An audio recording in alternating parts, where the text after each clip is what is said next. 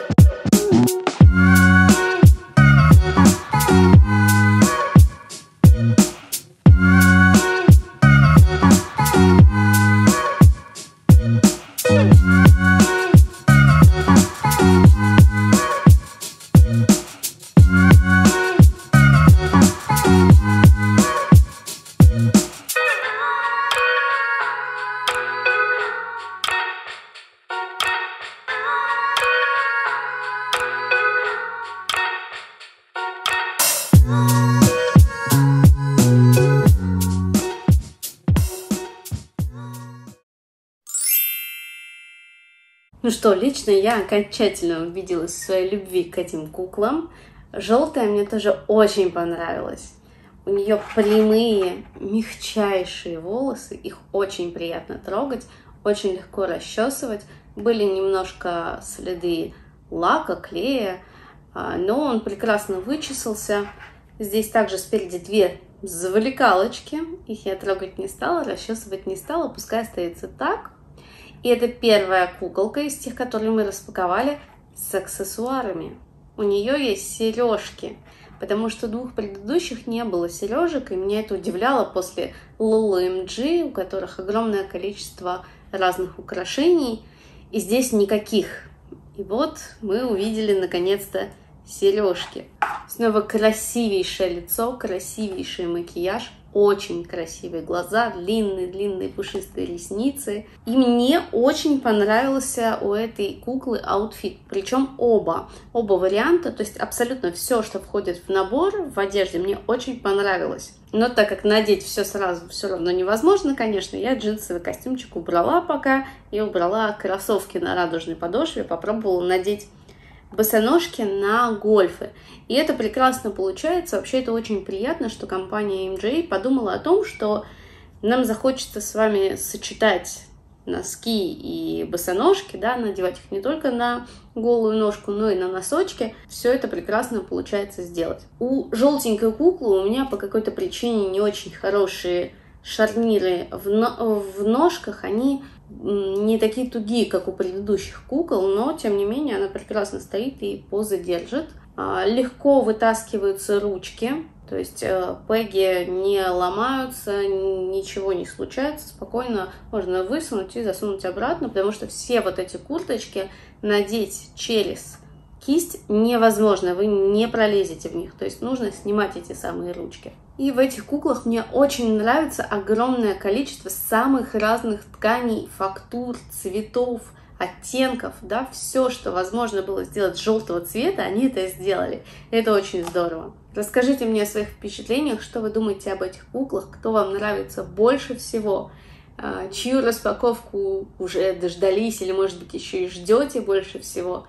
А, хотели бы посмотреть на каких-то других, может быть, кукол из этой серии. Буду очень рада с вами пообщаться. И не забудьте подписаться на канал.